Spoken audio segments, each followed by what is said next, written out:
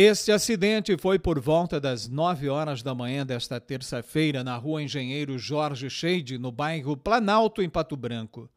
A violenta colisão envolveu esta moto 125 cilindradas e este veículo Fiat Strada, resultando em ferimentos no condutor da moto, um garoto de 15 anos de idade que saiu com a motocicleta sem a autorização do pai, que é o proprietário da moto.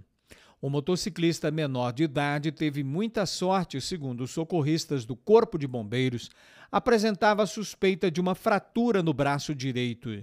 O condutor do veículo Fiat Strada, Olson De Bastiani, destacou que ao fazer a conversão para entrar em sua empresa, acabou sendo abalroado pela moto conduzida pelo menor de idade. Destacou que o local já teve o registro de muitos acidentes e a comunidade reivindica a instalação de redutores de velocidades há um bom tempo. Ah, já faz umas mais de cinco anos né, que nós estamos reivindicando, porque tem o reciclável aqui, tem pessoas que trabalham e os veículos aqui não respeitam, sempre alta velocidade. Se fazer aqui e ficar esperando um pouquinho aqui, vai ver que é 100, 110, 120 km por hora. Então isso é lamentável para nós, moradores do bairro, do bairro Planalto, né? Isso é muito triste para nós aí, porque nós não temos nenhuma resposta sobre aquilo que nós pedimos, né?